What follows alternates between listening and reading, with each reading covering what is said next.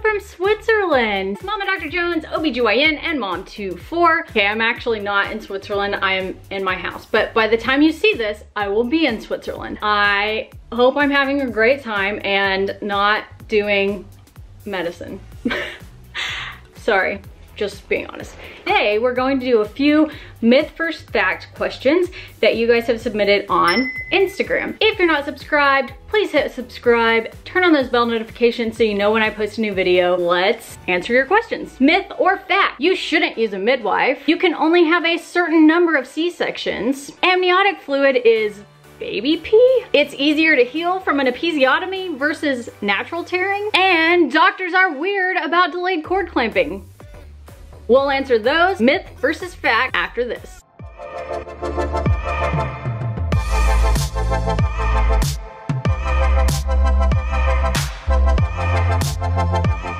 Okay, this one is from Trinity Wolf and it says, you shouldn't use a midwife. Myth or fact? I love midwives. Now, that being said, we need to talk a little bit about what is a midwife because in the United States, we don't really have a very good designation of who can call themselves a midwife. There are nurse midwives who have a graduate level degree in midwifery. They have gone on from an undergraduate degree and nursing degree to do further training in midwifery care, and they are wonderful. They are usually a very integrated part of the medical team. There are some states which still allow people who have not done any formal training outside of a post-high school certificate to call themselves a midwife. And I don't think anybody should put the life of their baby and themselves in the care of somebody who has minimal training, has been to 20 deliveries, hasn't even seen enough deliveries, or helped with enough deliveries to know when something is terribly wrong. And then there are various certification levels of midwifery. So it's great to use a midwife. You should know what their training is and what their experience level is. I personally would never use a midwife who is not a certified nurse midwife who had a good relationship with a backup obstetrician in case they needed them for some kind of emergency during the process. But if I was a low risk patient and I had access to a nurse midwife, that would be an excellent option. And I think midwifery care is an option for helping the state of obstetric care in the United States. But the first step in that is we need to start at the top and we need to get regulated oversight of how someone must train in order to call themselves a midwife. I could never go to another state and just go, hey, I'm a nurse. It should be the same with midwifery, that you can't be a midwife in one state and that's illegal in the state next door. You need to have a congruent system of who is and isn't a midwife so that the general public is educated on that and understands who they are trusting to care for them and their baby. Next, question. The A-Team 05 says, a woman can only have a certain number of C-sections. I hear this a lot. People say like, oh, I've had three C-sections, I can't have another one. Or my doctor said you can only have three C-sections or something to that effect. I think this is it's unusual when it comes up because we don't, or at least I've never worked with anybody who says like, you can only have this number of C-sections. The thing with C-sections is, the more you have, the higher the chance of complications or injuries are from having. If you've had C-sections in the past, you develop scar tissue. The more surgeries you've had, the more scar tissue you have, the more risk there is for the surgery itself, injuring things like the bladder, the bowel, the ureter, which connects the kidney to the bladder. That can all happen with a little bit more frequency with each C-section. Other things that are more common with each increasing number of C-sections is abnormal placentation, where the placenta grows too deep into the uterine scar and causes it to become too attached where it can't come out and you have to do a cesarean hysterectomy and that can be a life-threatening complication. So it's not a set number, it's just that each time you choose to get pregnant, knowing that you will probably have a C-section again if that's what your medical history indicates or what you choose, each of those surgeries comes with more and more risk. Each of those pregnancies comes with more and more risk. So I don't I just don't think that that's like a cutoff of a certain number. So I guess I would say that's not a myth, but not a fact. Like it's not a certain number, but it also comes from a place of being important to think about with regards to risk. So for each person, I would say talk to your doctor, talk to the person who did your last C-section, and have a discussion about what is a safe number of C-sections for me. And obviously that's going to be, again, just a risk benefit analysis, but it's not just I can give you a number. Number three, Nochi the Corgi says, amniotic fluid is baby pee.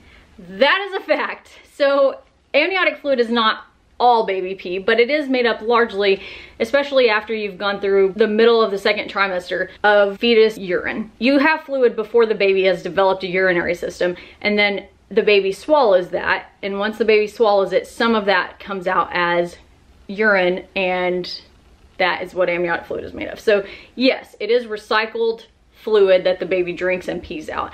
It's also made from other places in the placenta, but primarily, particularly in the middle and later parts of pregnancy, baby urine is what amniotic fluid is made out of. J.S. Peters 620 says, it is easier to heal from a natural tear than an episiotomy. Uh, so this is, this is also complicated because this depends on how it happens, but why don't we just talk a little bit about episiotomy versus natural tearing? It used to be thought that doing an episiotomy routinely, meaning just in everybody, would decrease the amount of tearing or make healing easier. And what we found over the last probably 10 years of improved research on the subject is that it's probably not a good idea to be doing routine episiotomies. Now, that doesn't mean there's never a situation where an episiotomy could be helpful it should be a case by case basis. So in my practice, I always feel like there is time to talk about this. Even if I'm doing it for fetal indications, meaning baby's heart rate is low, we can still talk about it. So I can tell you, hey, the baby's heart rate is low. I think we should do an episiotomy because I think that will help us deliver the baby quickly. And if mom says, I don't want that, it's okay that my baby is in distress and I still don't want it, then I can't force somebody to do that, but I can explain to them what I'm seeing and why I think it would be important. And the other side of that is that I can also say, hey, I don't think you need an episiotomy because I do have people come to me and they say they want an episiotomy. They've read something that said that would make your tearing less or it would make it heal better. And that's not necess necessarily true on an overall basis either. either. This is kind of another one of those that's probably in the middle. It's not myth or fact, it's case by case. It's what are we seeing clinically, what is the concern, what's going on, and then how well each one heals is largely dependent not on how it happened, but on how significant the tear or episiotomy was. So if somebody has a really bad tear, like a fourth degree laceration, that's not going to heal as easy as a second degree episiotomy and vice versa. If somebody needs an episiotomy because the baby is stuck and won't come out and the shoulder is lodged behind the pubic bone and there's not enough room to reach anything and they have an episiotomy that tears into a fourth degree tear or is cut as a fourth degree which is the highest level tear that we have uh, we grade them on a one to four. That's going to heal not as easily as a second degree laceration. So does that make sense? It kind of depends on the situation, the severity of the tear, far more so than it depends on how it happened. So I would say if you have equivalent tears, a second degree episiotomy versus a second degree laceration, they're probably going to heal almost exactly the same. So whether or not to do an episiotomy should be a case-by-case -case basis. 95 plus percent of patients that I deliver, I don't feel like need an episiotomy. And certainly I think that that's something we can easily discuss at the time if I feel like it's important or would be helpful. And it's always, always something we can quickly go over. Oh Baby Gifts and More says, doctors are weird about delayed cord clamping.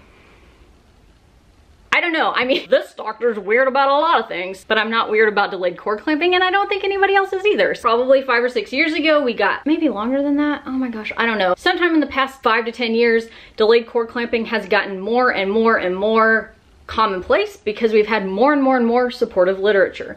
It used to be that when we delivered a baby that was very preterm, we thought what we need to do is get this baby somewhere warm and wrapped up and with breathing help with the neonatologist, so we'd cut the cord, take them over as soon as possible. What we noticed is these babies require blood transfusion more often. So we started researching.